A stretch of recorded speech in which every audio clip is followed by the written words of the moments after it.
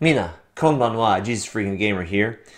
Here with a very specific message, unfortunately, tonight. There is a brother or sister in Christ on YouTube, and they have posted the song I Surrender by Hillsong.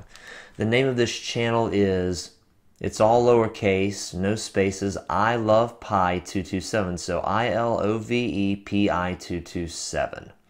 I just left a comment in the comments section.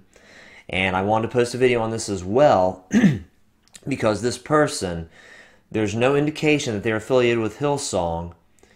And they have way more views, way more views than Hillsong's own copy of this song does on YouTube. I'm not sure if even Hillsong has a copy of this song on YouTube. When I type it in, this video is the first one to appear. And I wouldn't even be mentioning this if the video had not been monetized. This person does not have the right to make money on Hillsong's hard work. Now, if the money's going to Hillsong, if it's been um, third, what is it, third party claimed, I think is the name of it. I'm a new channel. I haven't grown or know anything about this. Then that, you know, then they're making the money off of it, and that's the way it should be. And if this person's a member of Hillsong, then they have the right to post it as well. There's not an indicator of either one. To their credit, they do have a link to Hillsong's. Um, per, they you can purchase this album on iTunes via a link in their description, but they still shouldn't be making money off of this. And this applies, you know, across the board, not just to worship, not just to Christian things, but to anything and everything on YouTube. If you're going to put something of yours on YouTube, obviously monetize it. You have the right to it. If it's not yours, some people would say don't even post it on YouTube. I wouldn't go that far. If you're going to put it on there for free and you're not making any money on it, some people would have an objection to it. I personally do not.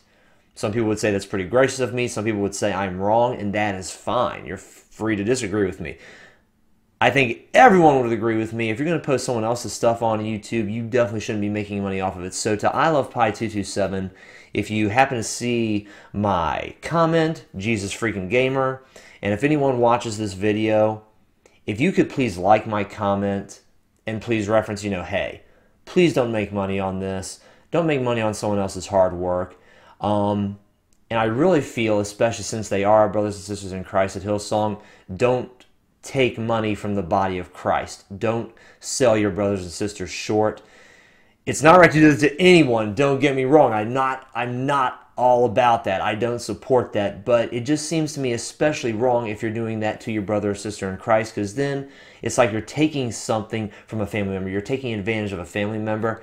And again, pretty much all of us would agree it's not wrong to take advantage. It's not right. It's not right to take advantage of anyone, but it's definitely not right to take advantage of a family member. That just makes it all the worse.